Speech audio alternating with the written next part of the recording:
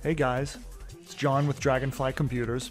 Today we're going to talk about the Google and the data that the Google likes to collect on you. Uh, some people might want to shut these options off. It's totally optional, but uh, I just want to make uh, folks aware that they're there because a lot of people don't even know that they um, what's being collected and that they have the option to shut it off. So when you're browsing the web and you're signed in with your Google account, your Gmail account, um, as long as you're signed in, you can go to this page, myactivity.google.com. Now, you hit this page, and as you can quickly scroll down and see, now I, I almost never use this account, so really the homepage is set to Google, and all you're seeing is just every time my Google search homepage came up. But if you scroll down far enough, you'll start to see that every Google search that you've ever done is kept a record of. Every YouTube search you've ever done is kept a record of. Any voice and speech recognition data you've ever uh, entered has been recorded. Uh, if you used a phone, your location data, your map data, and all of that is all recorded and saved for all time. Um, you can go to activity controls here on the left, and you can start shutting things off uh, by application if you want.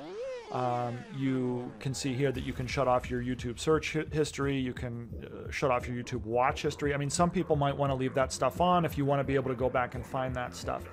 Personally, I'm not super comfortable having all of that data uh, of mine um, recorded uh, and accessible. So uh, I like to shut it off. Uh, as you can see right here, you click this, and you're really only given the option to pause it uh, and not actually shut it off. But um, I think pausing, for all intents and purposes, does the same thing. Uh, and then you can go down and you can, um, you know, quote unquote, pause every other um, piece of data that they collect. Uh, now, pausing doesn't delete, so you still have to delete that information if you want to purge it.